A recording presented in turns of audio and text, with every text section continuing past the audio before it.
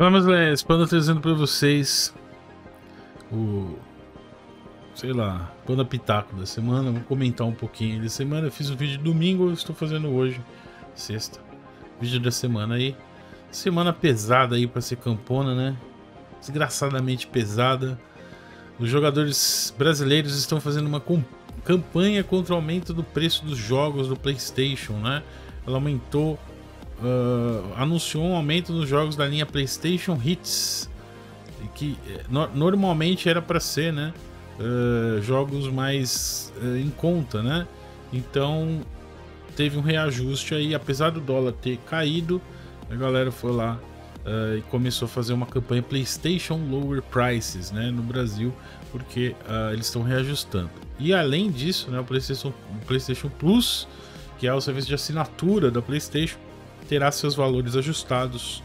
O preço anual do serviço passará de R$ 149,90 para R$ 199,90, representando um aumento de 33%. Imagina, mano, em 2021 pagar para jogar online, para ganhar jogos grátis. Você paga para jogar, para ganhar jogos, só que você paga para ganhar jogos, né? Alguém já viu esse paradoxo? Uh, então estão fazendo essa campanha PlayStation Lower Price jogar tem limites para ver se baixa o preço, né? Os, acho que os choristas sustentadores da indústria não estão aguentando o peso de ficar sustentando a indústria sozinhos, não é mesmo? Aí a gente vê o padrão já, né? É, Lorde passa pano, jovem passa pano, passando pano, testa de amolar, testa infinita de amolar espada também, né? Os caras ou somem, né? Ou não comenta, porque senão pega, pega mal, né? Essa semana aí, esses reajustes, apesar do dólar caindo, aumentando o preço do PlayStation, botando, né? Como diria o grande pensador craixista, né? O, o chorista procurando explicar por que, a trolha tá no rabo. Bom, aí a gente vê uns caras, né? Tipo perfil, por exemplo, robô sonista, estão rolando uma guerra civil, né? Basicamente, entre a galera que é fã do PlayStation, né? Tem alguns que ainda tentam passar pano pra essas coisas, né? Ó, tipo assim, o robô sonista postou aqui, tá ficando engraçado. O povo até agora com esse negócio dos preços. Puta que pariu. Quer dizer, não pode reclamar do preço. Tem que pagar e aceitar, né? Se não quer pagar preço cheio, espera a porra de uma promoção. Quer dizer, só, só esperar. É o padrão, né? Você tem que esperar a promoção, né? Quem que vai comprar o preço integral desse jeito, né? Aí por isso que a gente vê essas iniciativas de Unapes, né? Os caras falam de sustentar a indústria e tal. Quem espera tal, vai lá no, né? Usa lá o, o negócio do Unapes lá, compra conta secundária, terciária. Ah, é a hipocrisia desses solistas, viu? Se não, quer, se não quer esperar a promoção, junta dinheiro. Se não quer juntar dinheiro, não compra. Tá cheio de modos legalizados para pegar jogo mais baratos também. Dá para comprar mídia física, jogos usados, dividir a conta com um amigo. Isso aqui não é legalizado, viu, cara? Desculpa falar, mano. Isso não, não pode. É, mas né, na cabeça de vocês acho que pode, né? Mas não só vamos ficar reclamando a vida inteira. Quer dizer, o cara tem que passar pano porque é uma conta de fã, né? É... Os preços estão muito caros, tá inviável pagar, ainda mais nessa situação que estamos. Aí ele bate, jogou, jogou a toalha, né? Uh, e bom, basicamente não tem o que falar, né? O cara que passa pano para isso, né? Aumento de preço aí, situação no, no, mundo inteiro, principalmente aqui no Brasil, piora, a galera sem grana, um monte de gente demitida, pandemia, crise, etc. E o cara com essa de passar pano pra empresinha de, de meia boca, né?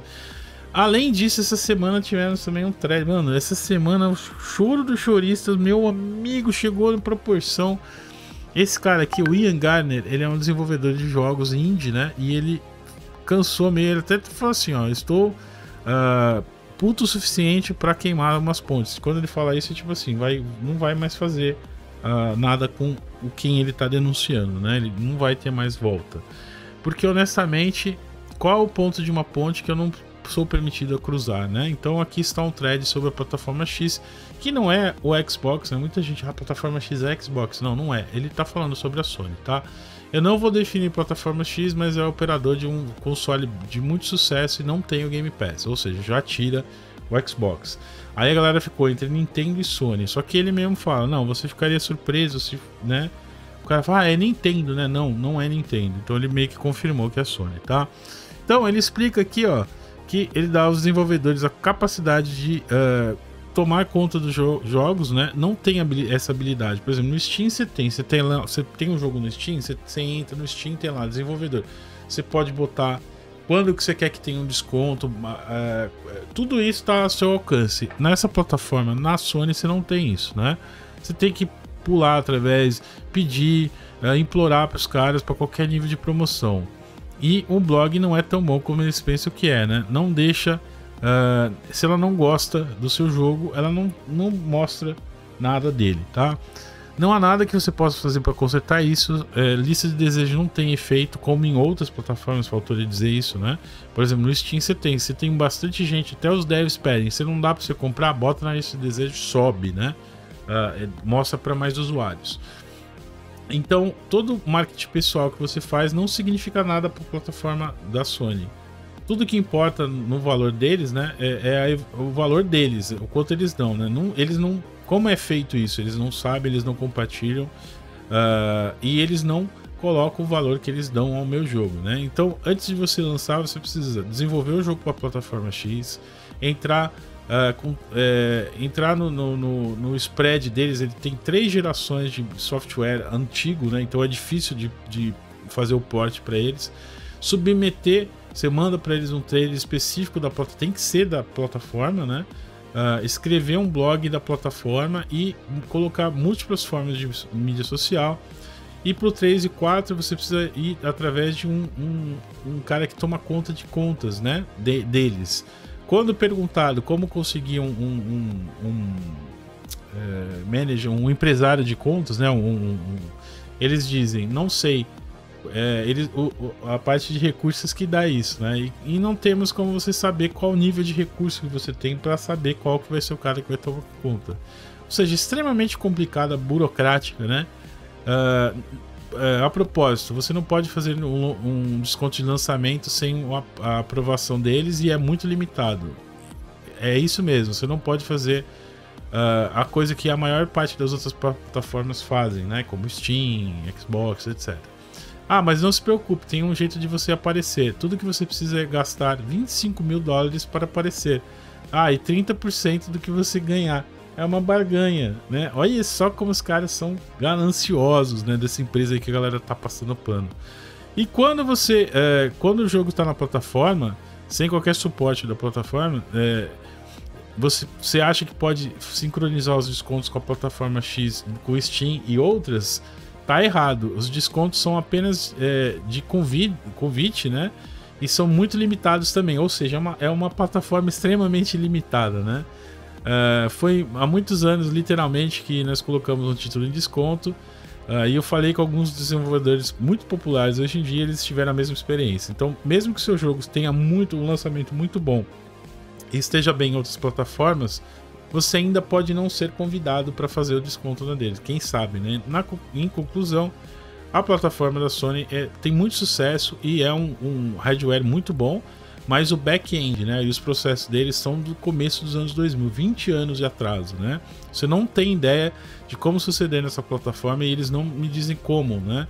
E, e mesmo se você conseguir o sucesso, eles podem te ferrar de qualquer forma. Então, para qualquer gamer na próxima vez que você estiver infeliz com o jogo, nunca ter desconto na, no, no, na Sony, ou um jogo que você vê nunca vai estar na Sony, por favor, vá lá e, e reclame com a Sony, né?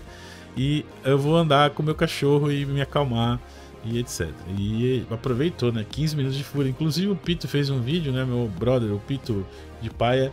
Uh, e aí ele pegou pegou o thumb que o Pito fez no celular, né? Muito legal, Pito, parabéns. Aí ele pegou, pegou a, a a, a foto né, que o Pito fez. Olha, vai ser a minha nova foto de perfil. Ah, muito legal. Bom, aí agora, além de tudo, né? Isso aqui é generalizado, não é específico da Sony. A Sony inventou essa parada de Director's Cut agora, né? Ou seja, o que é o Director's Cut? É o antigo uh, remaster, remake, né? É, é, o, é o Next Gen. Ou seja, esse jogo saiu para PlayStation 4 e agora ele vai sair com um DLC a mais no PlayStation 5. E aí o que, que você tem que fazer? Comprar de novo. Você acha que você pode pegar o antigo e jogar? Não. Pagar só a diferença do DLC? Não. Você tem que comprar de novo, né? Uh, então isso não é uma coisa padrão só no uh, PlayStation, tá? Isso a maior parte das empresas está vendo. Por que, que eles fazem isso? Porque você compra. Porque a galera que tem essa galera que vai que defende, fala: Não, vou comprar, sim, puxa vida, oh, os caras estão reclamando de preço, é só juntar dinheiro e comprar.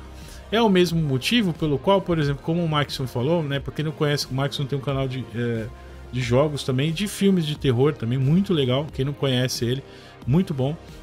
É, e ele tá falando dos remasters, né, que foram anunciados do Final Fantasy. Você vai ver os remasters, né, do 1 ao 6, né, que são basicamente o Nintendinho, né? Esses três são do Nintendinho e esses aqui são do Super NES, né?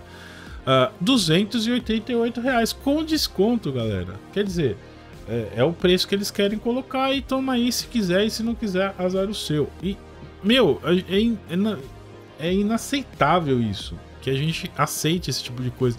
É a mesma coisa agora, por exemplo, já estão querendo vender uh, um, um, Estão querendo colocar um, um, um uh, remake do, do, do, Dead Space.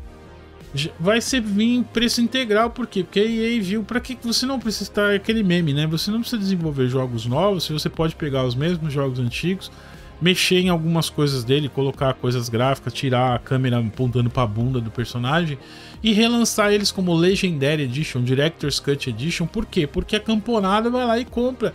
PCista também, vão lá e compra esses jogos. Nossa, hype, meu Deus, hoje é literalmente o mesmo jogo. Ainda mais no PC que você tem a opção de instalar mods. Se você for Master Race, souber instalar os mods, saber tirar o melhor do jogo, você tem uma experiência melhor. Para quê, né? Então fica essa mania aí agora de relançar os jogos.